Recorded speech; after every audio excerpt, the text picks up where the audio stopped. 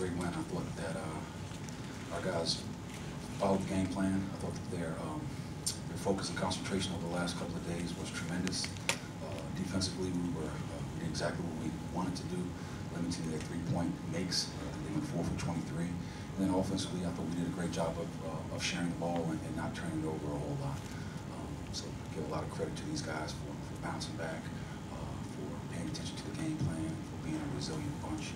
Also like to thank all the Brother fans who came out tonight after the lackluster performance we put out there the last two games. Uh, I'm not sure, you know, I wasn't too sure who was going to show up tonight. I wasn't going to blame anybody either, uh, to be honest with you. Uh, but it was a tremendous showing out there tonight, and uh, we fed off that crowd and that energy. So uh, thanks once again to uh, the Ryan Center and Rhody Nation for coming out and supporting us.